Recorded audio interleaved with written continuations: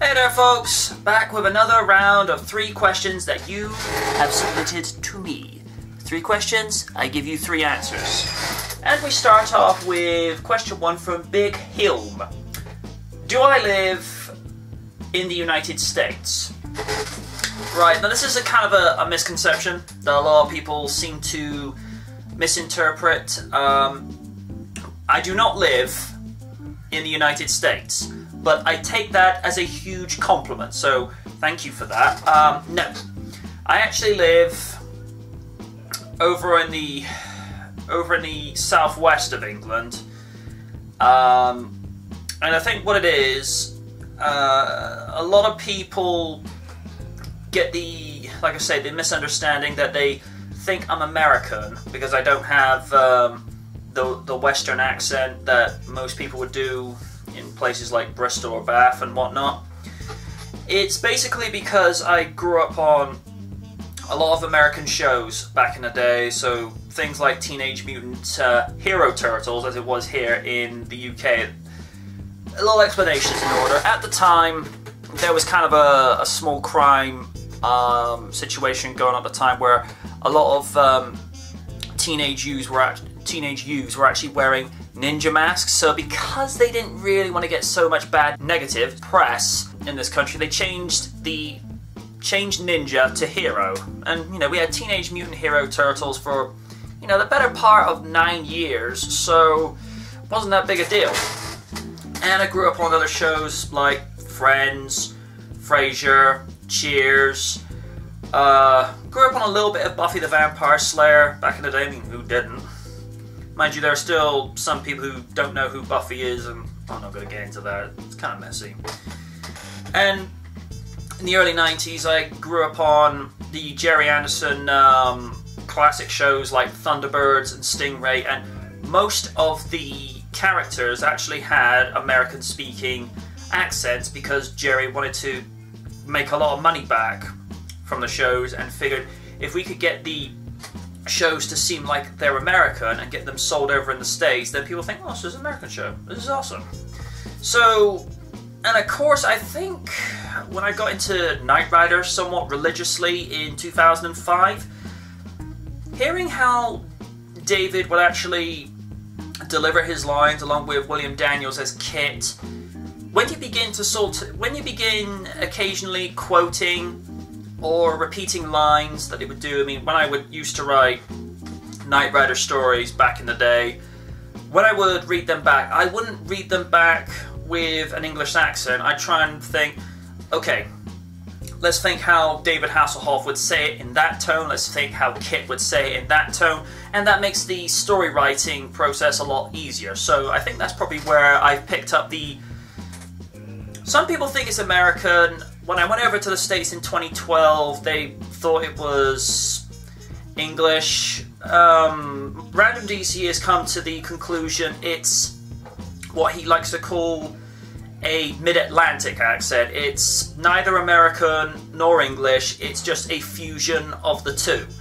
And like I and like I say, this is not something I've worked on. This is just something that's just happened naturally and organically.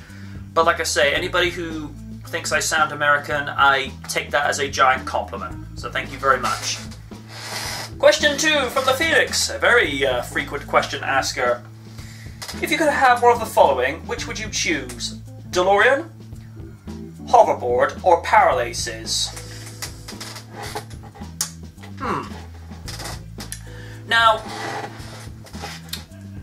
I'm going to try and break this down a second. I mean, on side A, for those that actually wanted um, flying DeLoreans, hoverboards, and power laces, I'd certainly love to get power laces, certainly make things easier. And they do actually exist, because actually a full-time mother actually devised a little system where she put these little motors on the back of these sneakers and the laces actually tie themselves or it's more like you know these uh, pre-done laces just sort of pull together.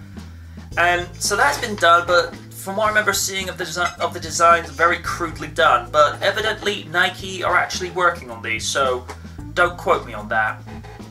Flying DeLorean would be would be good.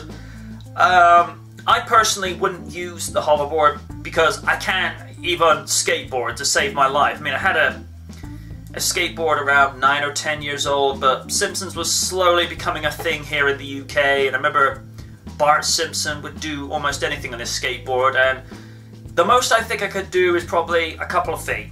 You know, I know it sounds kind of pathetic, but there are some people who are meant to board, and then those there are not. You know, you either have the ability or you don't, or you can work on it. I was more on the lines of I just don't have it, you know. Got no shame in that. But to answer your question, long story short, uh, Phoenix, I'd go for the power laces. And if people wanted the flying hoverboards and the flying DeLoreans, hey, they can have it. And I mean that in a nice way, not being sarcastic, they can have that. Another question from the Phoenix. What do you think is the worst movie of the decade so far? Hmm. Tough call. Uh, Iron Man 3. Um, because I tend to make a habit of not purposely trying to watch bad movies. I mean, we don't know that they're going to be bad movies at the time before we actually go into the flicks. But this was not the best Marvel movie, nor the best Iron Man movie. I tend to think numero uno is the best, with with number two just slightly beneath it, whereas number three's kind of like that. Uh, I, I, try not to be too negative because I actually enjoy going to the flicks. Um, but if we're talking about the worst of the worst, uh, the Yogi Bear movie from 2011, um, pretty much a copy and paste situation from most other movies that go from TV to live action. Um, character oversteps oversteps their bounds, has moral stance. One of the protagonist male characters has a thing for the protagonist female. Tries to make himself worthy. Then, you know, along with the you know evil corporation tries to come in, destroy everything that's beautiful, and they do an uprise to stop it. It's like you know I've seen this before.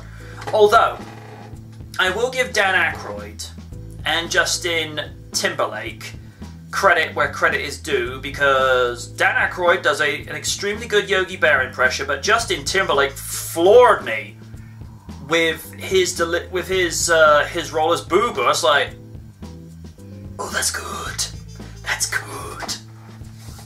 So yeah, Yogi Bear so far is the worst movie of the 2010s that's it from this edition of Ask the Knight.